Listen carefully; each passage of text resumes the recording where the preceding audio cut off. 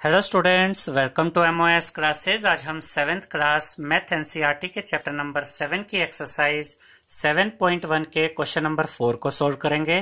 तो fourth question में हमसे कहा गया students if triangle DEF is congruent to triangle BCA right the parts of triangle BCA that correspond to और इसके बाद हमें कुछ पार्ट्स गिवन है।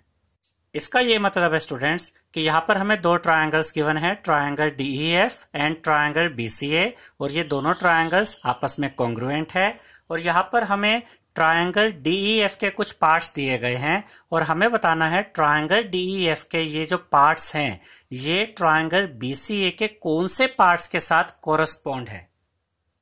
यानी कि हमें ट्रायंगल डीईएफ के इन पार्ट्स के कोरस्पॉन्डिंग पार्ट्स चेक करने हैं ट्रायंगल बीसीए में। यहाँ पर आप ये भी याद रखिएगा स्टूडेंट्स कि अगर ट्रायंगल डीईएफ और ट्रायंगल बीसीए आपस में कॉन्ग्रुएंट है तो डी और बी आपस में कोरस्पोंडिंग होंगे ई e और सी आपस में कोरस्पोंडिंग होंगे एफ़ और ए भी आपस में कोरस्पोंडिंग होंगे। हमने डायग्राम के थ्रू भी आपको ये समझाया है। देखिए ट्रायंगल डीईएफ का डायग्राम ये है और ये डायग्राम है ट्रायंगल बीसीए का। तो डी और बी आपस में कोरस्पोंडिंग है इसका मतलब जो पोजीशन इस ट्रायंगल में डी वर्टेक्स की है वही पोजीशन इस ट्रायंगल में बी वर्टेक्स की है। ऐसे ही ई e वर्टेक्स और सी वर्टेक्स आपस में कोरस्पोंडिंग है और एफ़ वर्टेक्स और ए वर्टेक्स आपस में कोरस्पोंडिंग है। अब हम फ़र्स्ट पार्ट देखते हैं स्टूडेंट्स फ़र्स्ट पार्ट में हमें दिया गया है एंगल ई e, और हमें चेक करना है कि ये जो एंगल ई e है ट्रायंगल बीसीए में इस एंगल ई e के कोरस्पोंडिंग कौन सा एंगल है? तो यहाँ पर अगर आप चेक करें तो ई e की पोजीशन देखिए, ये सेकंड नंबर पे है। फ़र्स्ट पे डी है और उसके बाद ई e है। और यहाँ देखिए सेकंड पोजीशन पे कौन है? सी यानी ई के कोरस्पोंडिंग कौन होगा? एंगल सी आप यहाँ डायग्राम से भी चेक कर सकते हैं।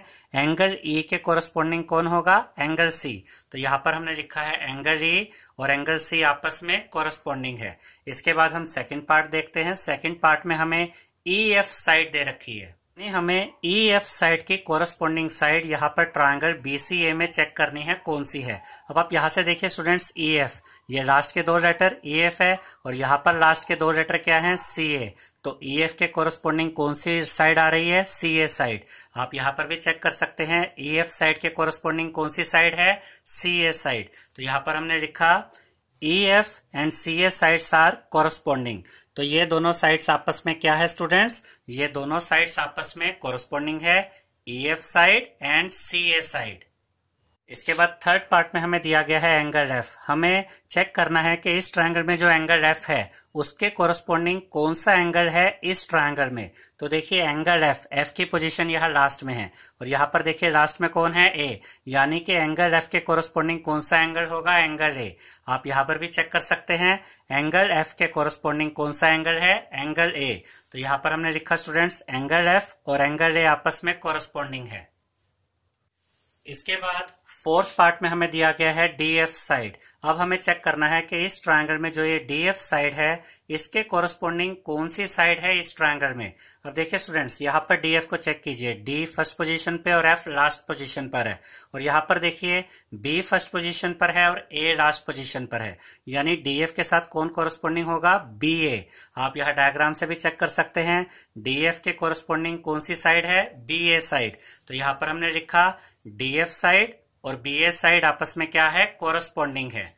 आई होप स्टूडेंट्स आपको हमारा ये वीडियो पसंद आया होगा। अगर आपको हमारा ये वीडियो पसंद आया है तो इसे लाइक शेयर और सब्सक्राइब कीजिए। Thank you